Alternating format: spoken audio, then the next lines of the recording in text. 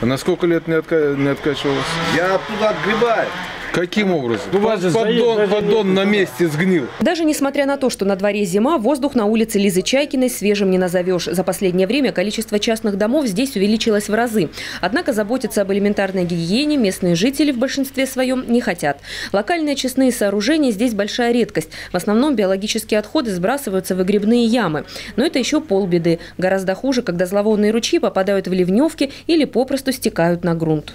С выгребной ямы, которая находится на территории значит, вот этого домовладения. Перелив жидких стоков выходит на рельеф вот конкретно на улицу, в Ливневочку и в море.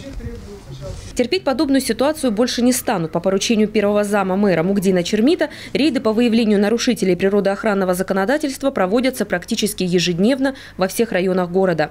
Имидж лучшего российского курорта не должен страдать из-за халатности и жадности некоторых застройщиков и владельцев частных гостиниц. Как правило, у нас жители недобросовестные, которые не соблюдают э, законы Российской Федерации, просто сбрасывают эти стоки в ливневую канализацию, либо на грунт вообще.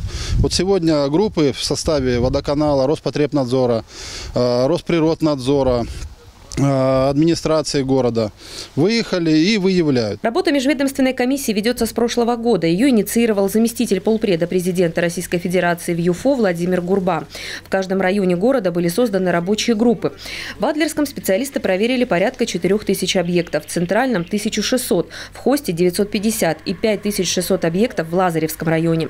Всем нарушителям природоохранного законодательства сначала выдаются предписания. Кто не выполнит, будет оштрафован и отключен от водоснабжения водоснабжения. Законное право у проверяющих на такие меры есть. Если даже после этого нарушения не будут устранены, собственника могут привлечь и к уголовной ответственности. Галина Моисеева, телекомпания ФКТ.